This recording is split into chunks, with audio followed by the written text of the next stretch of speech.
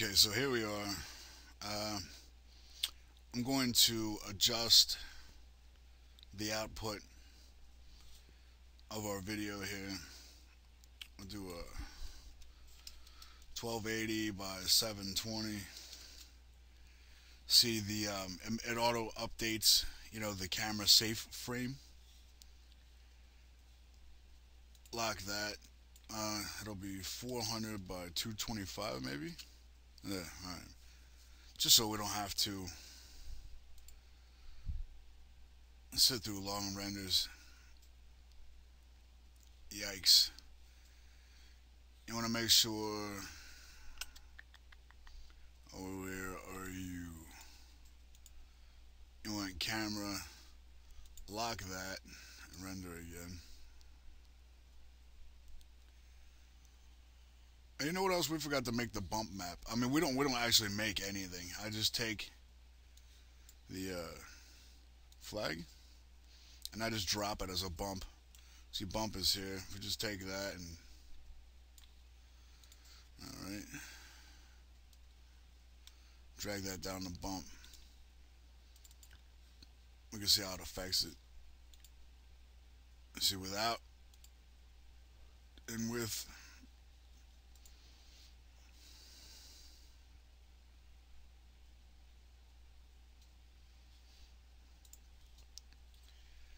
Alright, so that'll be that. Alright, camera shake. What to do is you want to have your point or your better than dummy dummy selected. Grab your curve editor up here. I think uh, you could also get to it by right clicking on the object. We're not going to do that. Camtasia uh, freaks out my system for some reason. I have trouble right clicking in with the menus there. So you see uh, the point is already highlighted, right? You want to take position, right click that.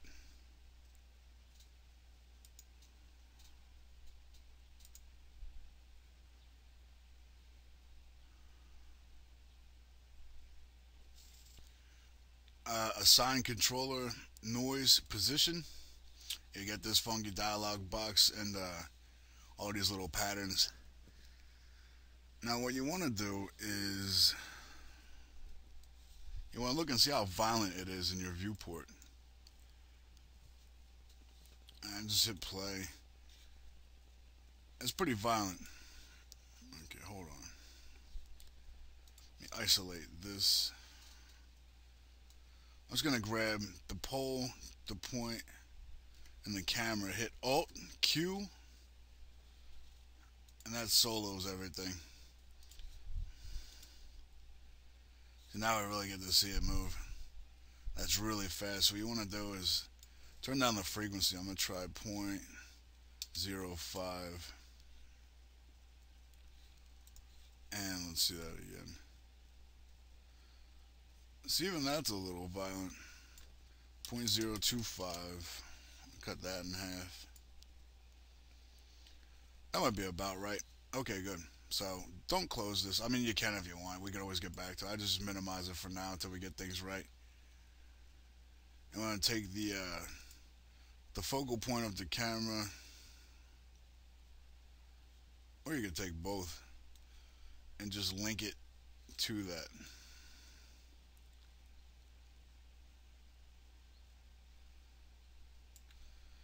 You can see what's going on here.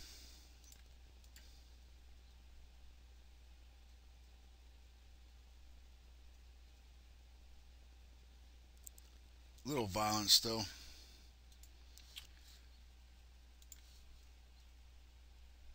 Uh, we can animate these, which is what I'm going to do, I guess. I'm going to make it a... Ooh.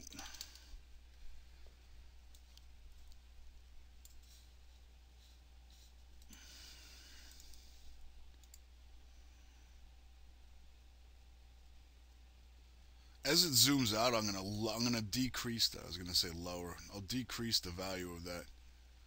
So it starts to zoom out at a. I don't know what the hell does it start to zoom out at? 50.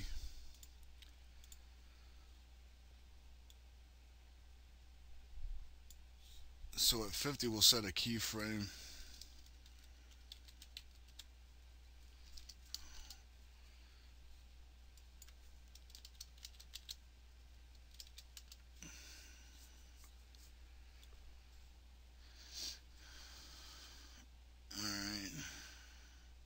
It zooms all the way out, I think, at 150. And we'll set that to uh, 20, I guess. And we'll give that a preview. We'll see what that looks like.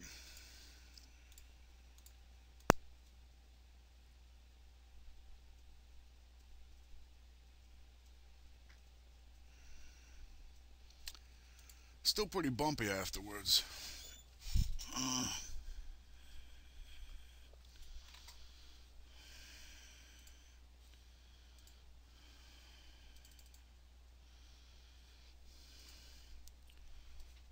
Let's try 10.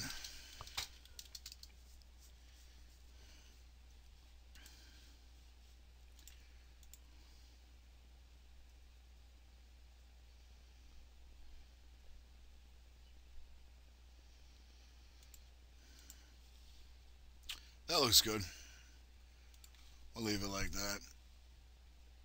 What I want to do is, uh, I'm going to move the camera out a little bit also because it's cutting off some of the, the stuff that you guys liked in the video.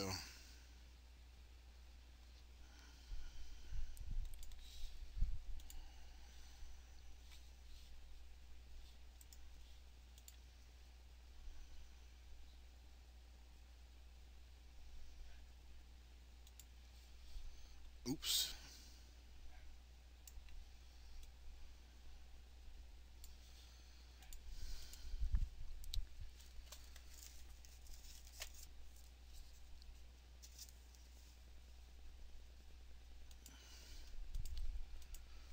And that's how you do a brief camera shake. I'm not going to take the time now to make it look really good, but you guys now have the tools to experiment and uh, try to make it look good yourself.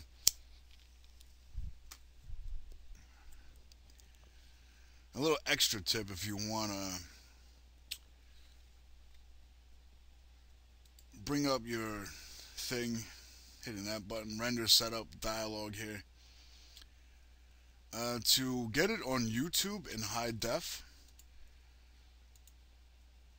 well, you want to use the you want to use the uh, okay.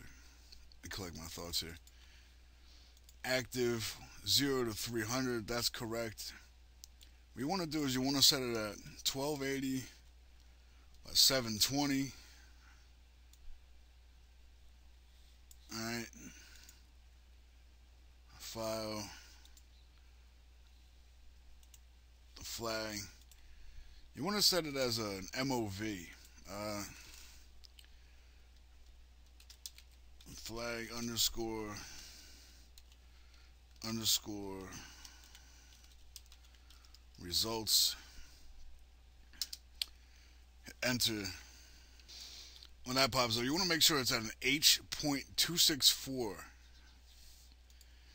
Alright, that's the high def setting. Best quality, click OK. And all you would do then is just hit render now, and you will render that out. Uh,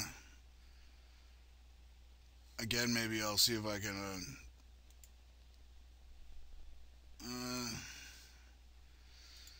this is what it should look like when it's done. Obviously, the one that I already rendered out is not going to be the same exact thing, but I used only the same stuff in this tutorial as I did in the video you're about to see.